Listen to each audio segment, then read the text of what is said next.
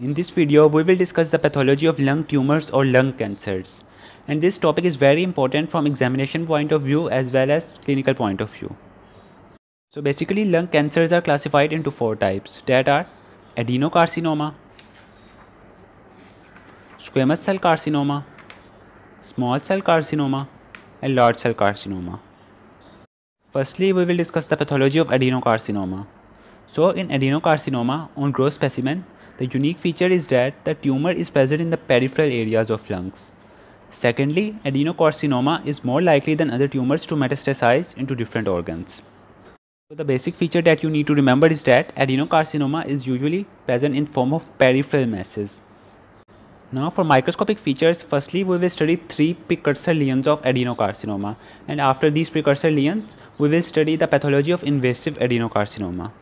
Now the precursor lesions of adenocarcinoma are atypical adenomatous hyperplasia which progresses to adenocarcinoma in situ which then progresses to minimal invasive adenocarcinoma.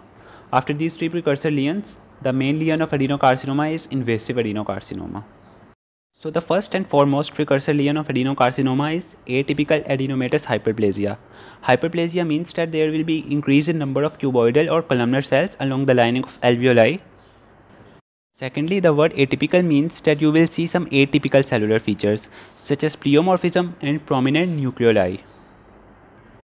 The second precursor lesion is adenomatous carcinoma in situ. And in this condition, undifferentiated cancerous cells grow along the alveolar septa. But in situ means that the tumor cells sit in their own site and do not show stromal invasion, thus preserving the alveolar architecture. So in adenocarcinoma in situ, Carcinoma means cancerous cells and in situ means no invasion. Now the third precursor lesion is minimally invasive adenocarcinoma in which tumor cells invade the stroma but the depth of this invasion is minimum less than 5 mm to be exact. So we call this as minimally invasive adenocarcinoma. So overall in atypical adenomatous hyperplasia you see hyperplasia of cuboidal to columnar cells. In adenocarcinoma in situ you see cancerous cells but they do not show invasion. In minimally invasive adenocarcinoma, you see cancerous cells that do minimum invasion of less than 5 mm. Now let's come to the invasive adenocarcinoma. In invasive adenocarcinoma, the tumor cells invade the stroma and this depth of invasion is greater than 5 mm. And when these tumor cells invade stroma, they grow in one of the following patterns. These patterns are acinar which means gland-like, Second pattern is papillary which means finger-like projections. Third pattern is mucinous which means in form of tubules.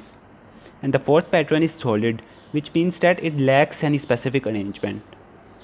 So in invasive adenocarcinoma the growth patterns are acinar, papillary, mucinous and solid. And in most of the cases the tumors also manifest mucinous secretions that are a characteristic of adenocarcinoma. Now we will go to the morphology of squamous cell carcinoma. And the gross features in squamous cell carcinoma is that the tumors are in form of masses that are central in position, which means that they are present close to the hilum of lungs. Secondly, these tumors being central occasionally erode the bronchi and when they erode the bronchi, the necrotic material present in the tumors get expectorated through the sputum. So this leaves cavity in the tumor mass that is called cavitation. Thirdly, being central, they also rapidly involve the hilar lymph nodes that are present near the hilum of the lungs.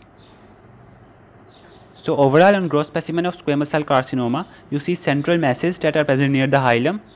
These masses can undergo cavitation and squamous cell carcinoma also involves the hilar lymph nodes. Now for microscopic features of squamous cell carcinoma, you need to focus only on two keywords that are keratinization and intercellular bridges. So the first keyword is keratinization and how this keratinization looks on microscopes depends on the degree of differentiation of tumor. If the tumor is well differentiated then the keratinization will be organized in the form of eosinophilic pink colored pearl like structures that are called keratin pearls. And if the tumor is poorly differentiated then there will be minimum keratinization without formation of keratin pearls. Secondly, you will see intercellular bridges between the tumor cells that are closely present together. So squamous cell carcinomas are characterized by keratinization and intercellular bridges. Now like adenocarcinoma, The squamous cell carcinomas also have some precursor lesions. These precursor lesions are squamous metaplasia, in which squamous epithelium starts to develop in the alveoli. You know that alveoli normally have small cuboidal cells, but if squamous epithelium develops here, it is called squamous metaplasia. The second precursor lesion is squamous cell carcinoma in situ, in which tumors in which cancerous cells of squamous differentiation develop in the alveoli and they do not invade the stroma. So we call this as squamous carcinoma in situ. Now this concludes the morphology of squamous cell carcinomas. Now we will discuss the morphology of small cell carcinoma.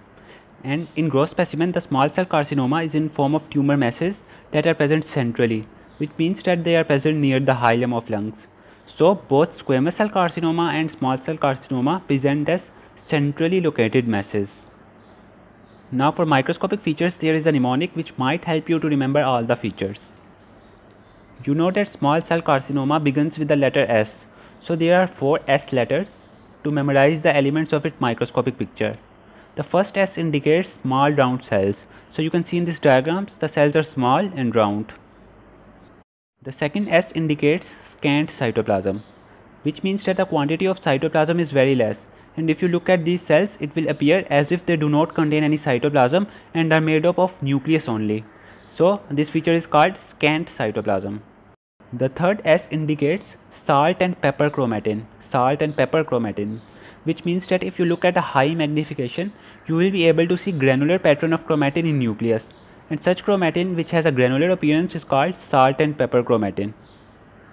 The fourth S indicates smudging, which means that some of the tumor cells show broken or crushed appearance. This crushed appearance occurs because tumor cells in small cell carcinoma are small and fragile and during preparation of slide some of these burst. This finding is known as crushed artifact. Now there is one more point to be noted that if you take a cytological specimen of a tumor and observe the cells in the microscope, you will appreciate the feature of nuclear molding. Nuclear molding means that the nuclei of cells look like as if they are present very close to one another and this happens because the quantity of cytoplasm in these cells is very less and the nuclei being the only visible part seem to mold and closely present together. So this feature is called nuclear molding. So overall on microscopic picture of small cell carcinoma you see small round cells, scant cytoplasm, salt and pepper chromatin and smudging or crush artifact. And along with this on cytological specimen you will see nuclear molding. Now the tumor cells of small cell carcinoma also have some neuroendocrine markers that can be stained by immunohistochemical techniques and can further help in the diagnosis of small cell carcinoma. These neuroendocrine markers are synaptophysin, chromogranin and CD56. Synaptophysin, chromogranin and CD56. Now the fourth type of lung tumor is large cell carcinoma. The main feature of large cell carcinoma is lack of any other pattern like squamous pattern or adenocarcinoma pattern. So it is basically a diagnosis of exclusion. But there are some cellular features that can help to identify large cell carcinoma. These features are large cells with large nuclei and abundant cytoplasm. So in large cell carcinomas, there are large cells with large nuclei and abundant cytoplasm. So this concludes our discussion on four major types of lung cancers that arise from the epithelium of lungs. In the next video, we will discuss carcinoid tumors of the lungs.